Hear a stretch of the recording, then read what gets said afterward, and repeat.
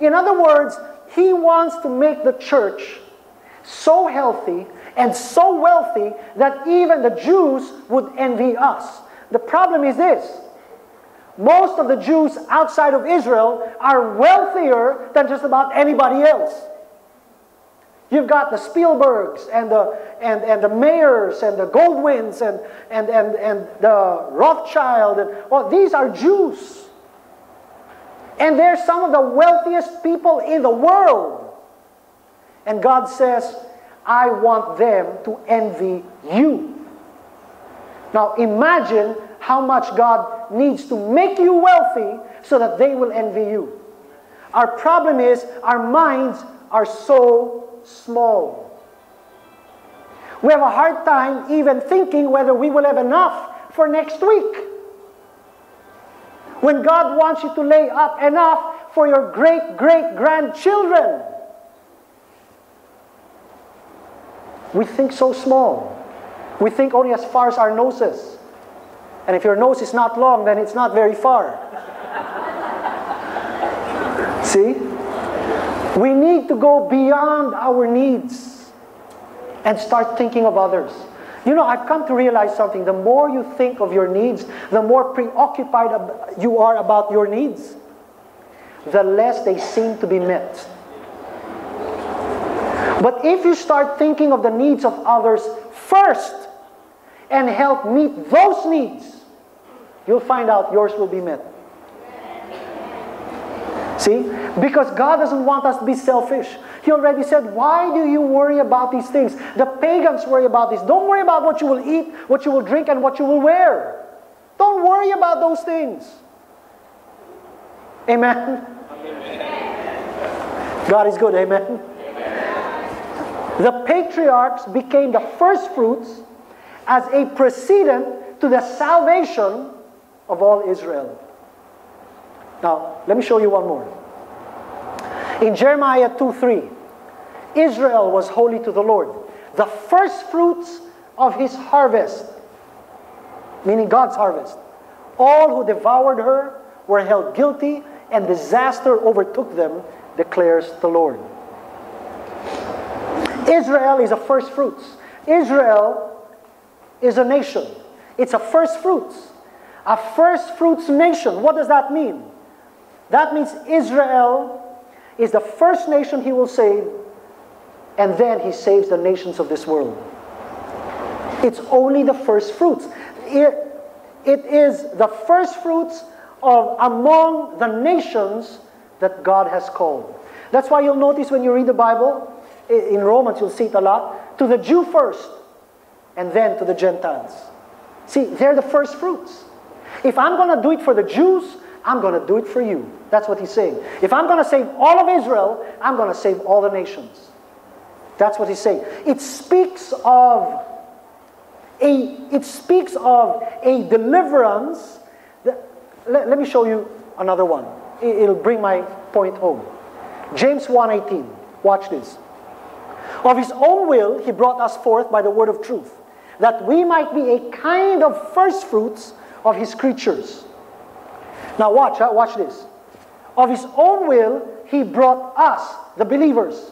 Remember, we are a new creation in Christ, right? 2 Corinthians 5 says that if any man be in Christ, he is what? A new creation. The word creation there literally means species. We are a new species. There is no one on earth like you. You are the only one, if you are a believer in Christ, born again by the Spirit of God, you are the only one in the planet that has God's nature. Nobody else does. The unbelievers don't have that. Only those who have faith in Christ. And that makes you a completely different creature on this planet. He brought you forth. This is not of your own will and your own choice. He brought you forth, He brought us forth by the word of truth, so that we might be the first fruits, a kind of first fruits. What's he saying here? Look at the principle. A kind of first fruits of His creation, His creatures. In other words, you are no longer a sinner. Oh, you might sin from time to time, but your identity is saint. The Bible calls you holy ones. We sometimes use the word saint. That's what the Bible calls you. If you keep on thinking that you're a sinner, guess what? As a man thinketh in his heart, you're going to behave like a sinner. You got to stop thinking that way. That's why you need to renew your mind and start thinking like God, the thoughts of God, so that you start acting like God. Of course, we know we'll never be God. That position is closed. Three, a committee of three, and that's it. No one can apply. Okay, so kung meron kayong ambisyon, mag-apply, maging Diyos. It's not gonna work, okay? Your, applica- your application will be turned down. It doesn't matter how impressive your resume is, okay? You'll never be God, but you can be like Him.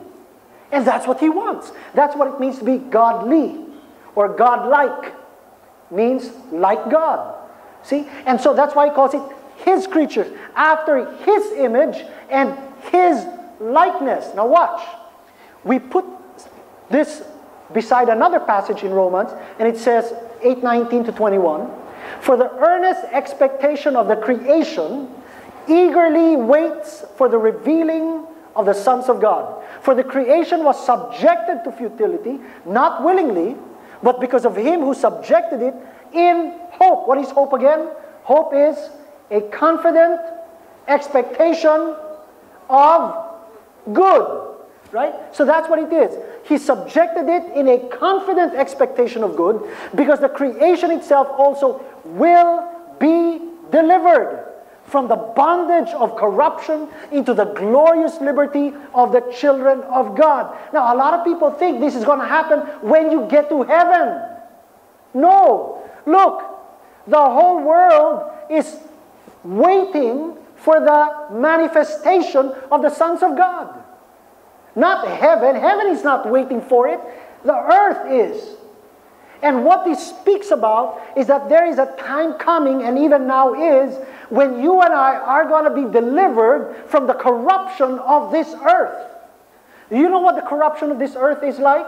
It's called disease, it's called sickness, it's called depression, it's called invalid, it's called poverty. That's the corruption of this world. And he says, We have become a kind of first fruits of his creatures or his creation. So now the whole earth eagerly awaits for the manifestation of that Son. You know what it's really waiting for? It's waiting for revelation. The reason why the sons of God are not manifesting is because of a lack of knowledge. We don't know who we are, or we have forgotten who we are. Remember, James said in chapter 1 that we are like the, the, the, the, the hearer and not the doer. It's like the one who looks at a mirror and then turns away and forget what, forgets what he looks like.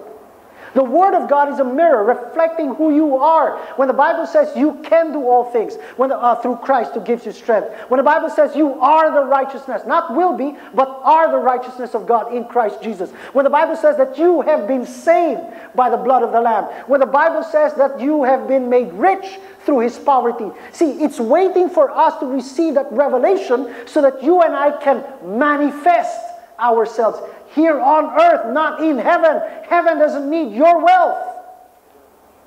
You need that wealth now. There's a dying world that is waiting for the manifestation of the sons of God. But you know what? We are living like sons of men. Because we are thinking like, as the Bible says in Galatians chapter 3, like mere men. Parang tao lang. You are not Homo sapien, you are Homo Deo. You are once again Christ in you. You are not the Christ, but Christ in you. He said, I will never leave you, I will never forsake you. You shall lay hands on the sick, and they shall recover. Just do it. Do it. And start manifesting. Turn to your neighbor right now and just say, Start manifesting. Amen? See, you need to start manifesting.